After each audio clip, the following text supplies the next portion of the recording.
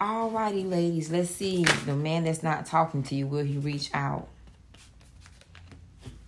The queen, no. The Queen of Swords and the Eight of Cups. No, he's not going to reach out. The first thing I hear is respect. There could uh, be a lack of respect between the two of you all.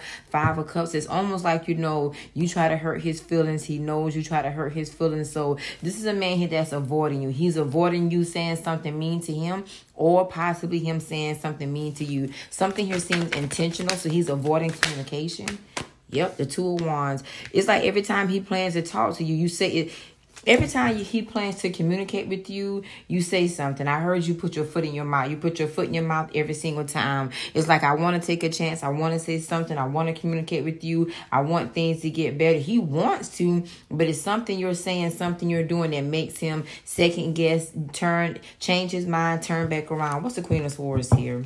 Um, some of you all, you're too stuck on the past for him. Whatever has happened between you all is like you won't let it go with the judgment card. What's the Queen of Swords? Dang, a lot. This is a man that feels like you try to control him. The Three of Pentacles, it's like you want to determine the outcome. You want to make... There's a man that clearly feels like you're trying to make him be something to you or for you that you know he's not. The Two of Cups, the knight of the knight of wands yep. There's a lot of control here that he feels from you. Um now there's some player energies. It's like he's saying look i did it. I did it once. It happened. It's over. Something you keep bringing up you won't let it go. He wants you to drop it. Every time he rushes in to say something you have something brutal to say. Some of y'all it's some of y'all it's a it's a big issue with your mouth. I also hear the word memory. It's like you are stuck on something. You will not let something go. Uh let me see since it's a short video, what's his plan of his outcome?